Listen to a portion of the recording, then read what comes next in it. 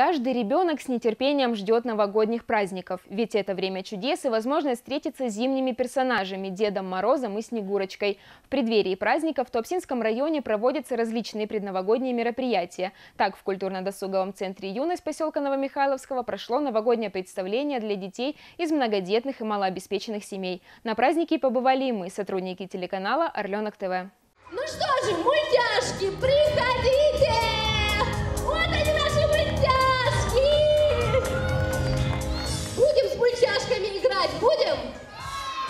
Сегодня в Доме культуры «Юность» собрались самые маленькие жители Новомихайловского поселения. Для многих это первая новогодняя елка в жизни.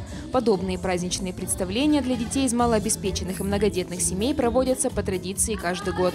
Подготовка у нас обычно начинается задолго.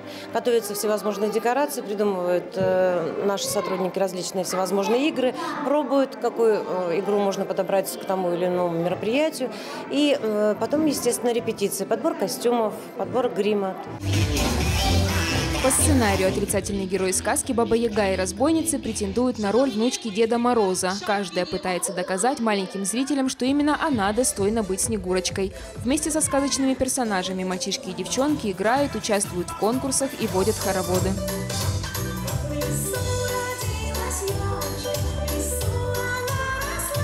Мы уже давно используем интерактив. И э, вчера вот у нас была сказка, спектакль «Морозко». Мы даже в нее успели включить э, вот такие интерактивные игры, потому что это зажигает, наверное, детей, придает какое-то м, праздничное новогоднее настроение. И, наверное, самим детям интересно вот побывать в этой сказке, поучаствовать и м, прийти домой уже радостными, веселыми. Был у вас я год назад, видеть всех я очень рад. Пусть же этот Новый год много счастья принесет. Шуточный спор прерывают главные герои волшебной сказки – Дед Мороз с настоящей Снегурочкой. Они прощают проказников и разрешают отрицательным персонажам остаться на празднике. Сказочные герои вместе с маленькими зрителями зажигают огни на новогодней елке. Пусть на елке огоньки загорятся раз, два, три. Елочка, гори!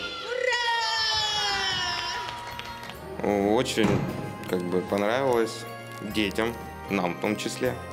Ну и как бы, как сказать, поиграли хорошо. Все весело, все задорно было. Детки все красивые, в костюмчиках. Молодцы родители. Прям детей привели на праздник, сделали им праздник. Все довольные, все счастливые, мы в том числе тоже.